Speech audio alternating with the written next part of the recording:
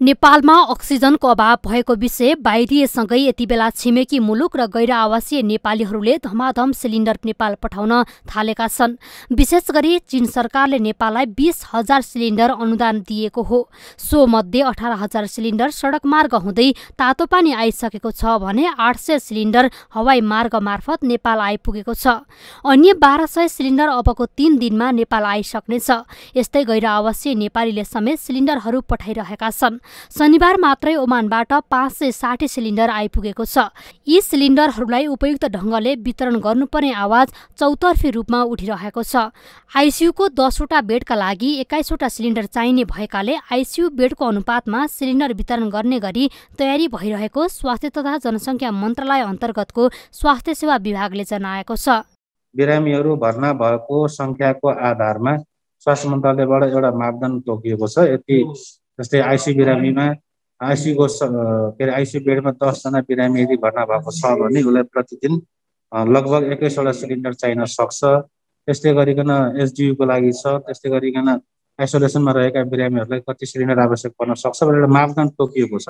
र त्यो मापदण्ड अनुसारले त्यो अस्पतालमा बिरामी भएको सङ्ख्याको आधारमा क्यालकुलेसन गरेर अक्सिजन सिलिन्डर चाहिँ उपलब्ध गराउने चाहिँ गरिएको छ अहिले। अहिले अस्पतालमा अक्सिजनको माग उच्च रहेको छ। यसअघि पन्ध्र दिनदेखि एक महिना पुग्ने अक्सिजन एक हप्तामै सकिरहेको छ। यसले गर्दा पनि अस्पतालहरूले अक्सिजनको अभाव झेलिरहनु परेको हो।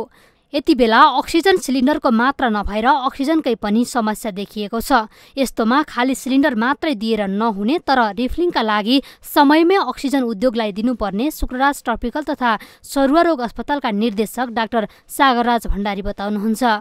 जुन ठाउँमा यो चाहिँ अक्सिजन चाहिँ प्रोडक्सन गर्ने हाउसहरू छ कम्पनीहरू तिनीहरूलाई चाहिँ समयमै रिफिलिङ गरेर यो अस्पताललाई योले यति यति क्वान्टिटीमा सप्लाई गर्ने भन्ने एउटा प्लान छ। गम्भीर प्रकारका बिरामीहरू भर्ना भइराखेका छ धेरै यो आइसियु भेन्टिलेटर चलिराखेको छ त्यस्तो अस्पतालहरूमा अक्सिजन प्लान्ट भन्दा पनि लिक्विड अक्सिजन प्लान्टहरू राख्यो भने सहज हुन्छ। किन भन्दाखेरि एकै पटकमा धेरैभन्दा धेरै मेसिनहरू रन गर्न मिल्छ धेरै बिरामीलाई एकैपटकमा चाहिँ उपचार गर्न सजिलो भएको हुँदाखेरि त्यो सस्तो पनि राम्रो हुन्छ र सजिलो पनि हुन्छ।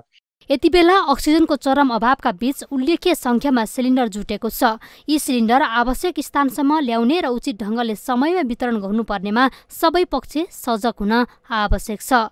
माउन्टेन समाचारका लागि सङ्गीता अधिकारी काठमाडौँ।